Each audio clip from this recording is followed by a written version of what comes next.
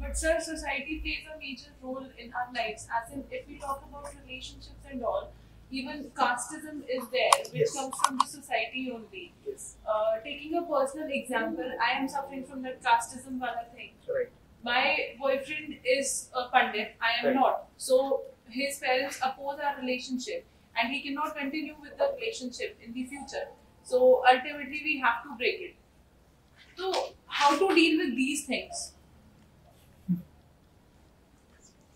What's her name? Apurva. Apurva, what enables the other person to control me? What enables the other person to control me? Marcus. And why must I be afraid of the other person? We all complain that our lives are dominated by external forces, correct? And that makes life miserable. But have you ever tried to think what enables that other person to control me? Let them do that. But sir, there is We let them do Why do we let them do that? because uh, we are happy with it. We are okay. We are okay with, uh, with them controlling us. we us. cannot force somebody to be with us, no? No, you can't force somebody to be with you. But at the same time, you can't allow someone to dictate your own life. You don't want it, yet he is able to do this. Why does this happen? Why does this happen? We let them overrule us. Go into it a little more deeply. You don't want them to rule you, right? You don't want them to have power over you. Yet that happens. But it is easier for somebody else to rule us rather than we ruling our own selves. I understand. But then, what makes it easier for him? We all want freedom, right? As young people, as energetic people, we all want to be free. We all want to live life our own way. Yet we find ourselves dominated. We also find security. We also want security on the other hand. So, what are we doing? We are being dominated by someone because there is a desire for something. We are trading away freedom for security. We are trading away. You enable the other person to dominate you because you have made an agreement with the other person. Hmm? It's a trade agreement. You know what is that agreement? That agreement is I give you my freedom, please take away my freedom, but give me an identity, give me security, give me financial help, give me beliefs. You have traded it away, and it's such a poor trade. It's such an unprofitable trade. It's like giving something precious away for something that is very, very trivial. Your freedom is so very precious, but you have traded it away for something as trivial as a few conveniences and security and identities.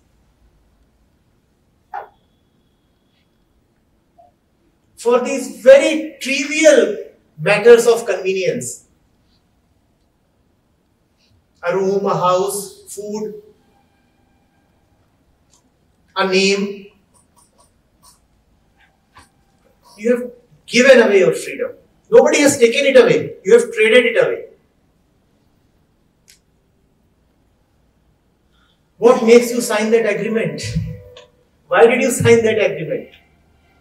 I'm happy giving my freedom away. The thing is that I am being, you know, a victim of casteism here. So I just want to know how to deal with that casteism wala thing. Just because I'm not a pandit, I have to break my relationship within a time duration of two and a half months that I've been given. Apurva, it is not at all possible to not to be free. You say, I'm happy giving away my freedom, but please don't take this away from me. If you are happy giving away your freedom, then effectively you are saying, I'm a slave. And a slave can have no free will. If you have given away your freedom, now what, what right do you have to ask for anything? A slave has no right to ask for anything. Only a free man has a right to ask for a free life, for anything from life. So please don't say that I have given away my freedom. That's such a dangerous statement to make. Don't make that statement. If you have given away your freedom, you have given away yourself. Now you will have to do what others want you to do. And this is such a pathetic trait. Such a pathetic trait. I give away my freedom, you give me a few conveniences, a few luxuries of life. Who can dominate you if you refuse to take what you are taking? You're taking so much from the other person. Obviously, he develops a right over you. When I'm giving you so much, will I not expect a return? When I'm giving you so much, will I not expect a return? You are taking so much from those around you, they are expecting a return, and you know what that return is? Give me your life. We are giving you money, security, identity. You give me your life. You have traded your life away. Stop trading your life away. Simple. How to stop trading your life away? Stop taking what you are taking. Till the time you keep taking what you are taking, you remain a slave. The lesser you take, the more free you are. The less dependence you have, the more freedom you have. The more dependent you are on any external entity, the less free will you be. Is this becoming clear to you? But this situation cannot be compared to that to the family means our parents we can't say that stop loving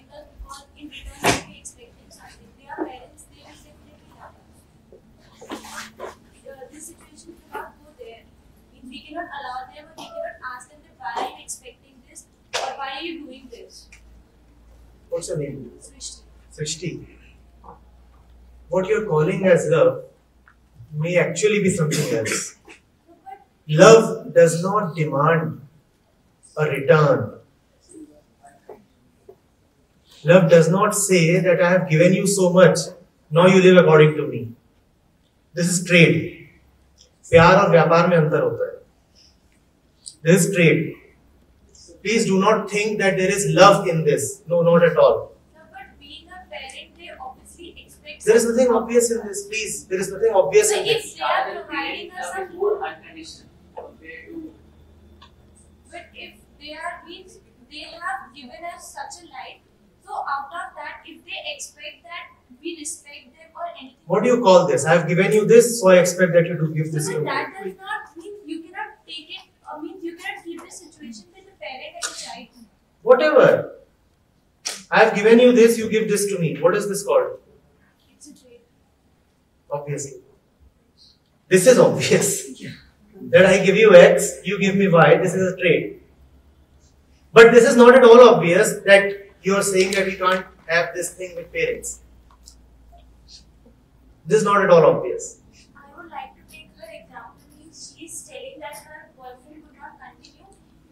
His parents are not allowing him to do that. So he, matlab, they are his parents. So for her, she, he cannot oppose them. Means obviously he has some duties for them also. No, that no. won't be disrespecting if you oppose your parents for a good for a you know uh, justified Means they are opposing it. So obviously they also have a valid reason for this. So means how to distinguish or how to Beta, manage. how old are you? How old are you? Are you eight years old that somebody else must take your decisions? 21, So but that someone else is Then our to they are parents. saying So what does parents mean? Who We told you? lot of difference between someone and our parents. You are a person, and that fellow is also a person. You have your brains, he has his. It's a deep, deep oh. conditioning. It's a deep, deep conditioning that is attached to this label, parent. The only relationship between any two individuals can be that of love. A relationship of obligation and duty cannot be a real relationship. You're talking repeatedly of parents and you're saying we have some obligations, we have some duties. And you're not saying there is love. Had there been love, would there have been such a conflict?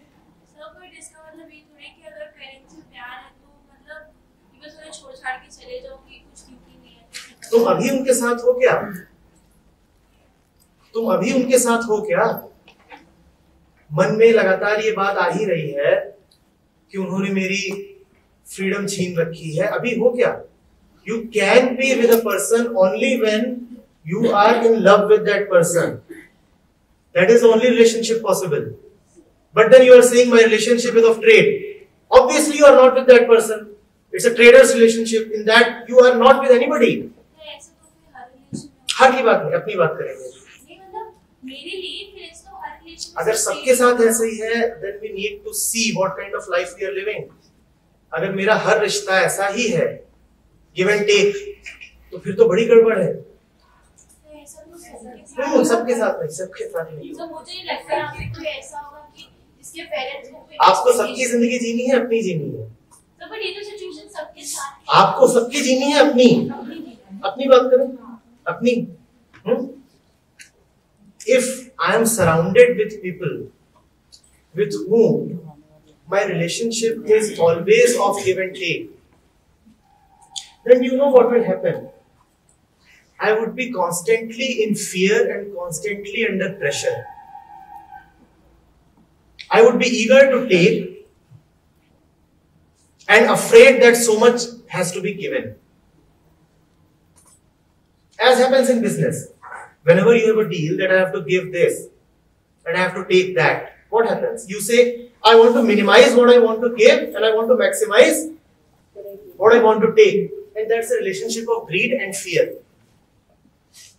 That's not love. Love is an entirely different thing. It has an entirely different flavor to it. There you don't count what you have given to the other person. Not at all. And you never demand anything that we have given you so much, now it is your obligation to give us back. If somebody says there is an obligation, please know that he does not love you. He was investing in you. He was investing in you so that you may be productive at a later stage. I invest in a factory. I invest 10 lakh rupees so that I may get back 20. Now, do I love that factory? The moment that factory says, now I am free, I'll say, hold on, give back my 10 lakhs. Give back, give back. Factory says, no, I want to marry a factra. You'll say, not allowed. Not permissible. Especially when the factra belongs to another caste. Not possible. Find out love. Whether it is with parents or friends or? by seeing that what you are currently calling as love is not love. Till the time you hold on to this notion of love, you will never get to the real thing. Till the time you hold on to the fake, how can you get to the real? First of all, get rid of this notion that this is love. This is not love. See, our relationship with anything is not of love. We, we are not in love with books, not in love with our sports, not in love with this movement. We study so that we may get marks. You see the trade? I am studying so that I may get marks. All the time we are just calculating what profit and loss, profit and loss. I am investing time, I must get marks. There is no love between us and our books.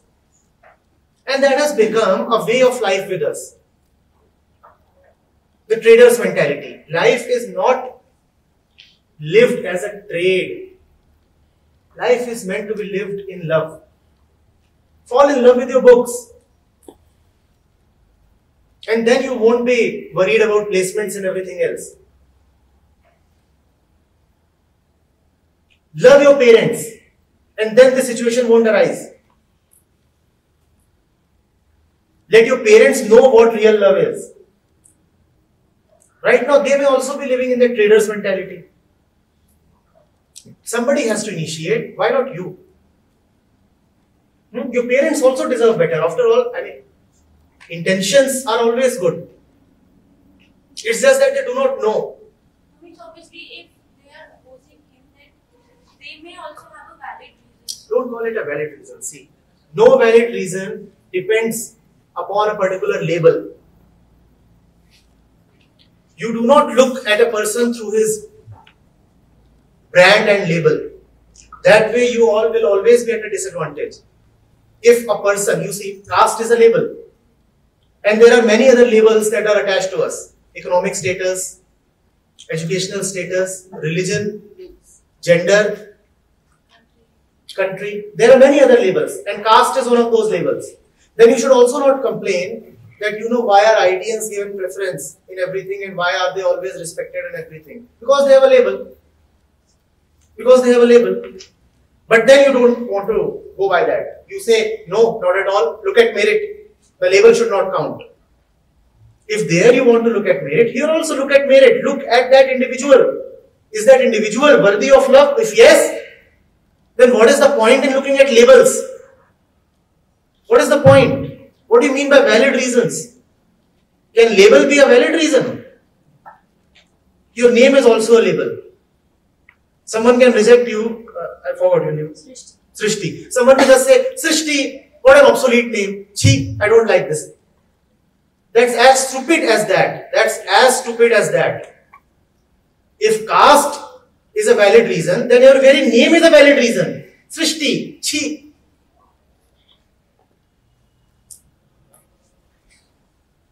But we understand it, how to make them understand, or not only in this situation, you don't understand. No, sir, I'm absolutely getting what you're trying to say, but it happens many a time when we are not, it means we just leave the situation of the marriage case.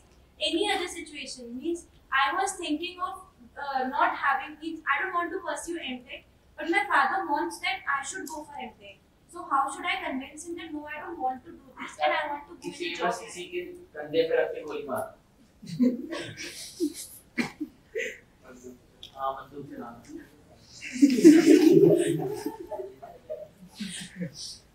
All right, I'll tell you how to go about it. Hmm? Simple. Hmm? The day you finish your BTech, walk into an institution, fill up the MTech form, and start attending classes.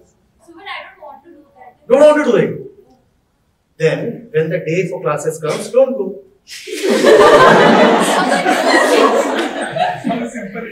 Isn't it so simple? Obviously, you cannot get admitted before without signing the admission form, the application form at least. Don't sign the application form. So how should I convince my dad? Why should you convince? Don't sign. Don't sign. Sir. What will happen? No, no, no. I'm not joking. See, I'm getting at a particular point. You must see what will happen if you don't sign. And then you will see whether the relationship is of love. So obviously you won't break the relationship means when I Then don't sign. If nothing is going to happen, what prevents you from signing? I don't want it, he Hmm. said it's okay. If it's okay, then it's okay. There is no problem. So but maybe means I don't Srishti, let's first accept it is not okay. If you don't sign, you'll have to face the music, correct? Right? It's not okay. You're afraid. know. Ah. And somebody who terrifies you, is there a relationship of love?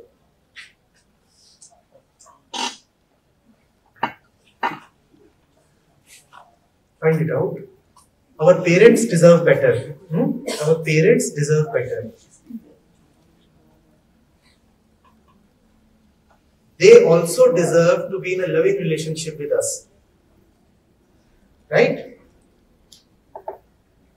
and you are pretty much grown up. You can initiate something.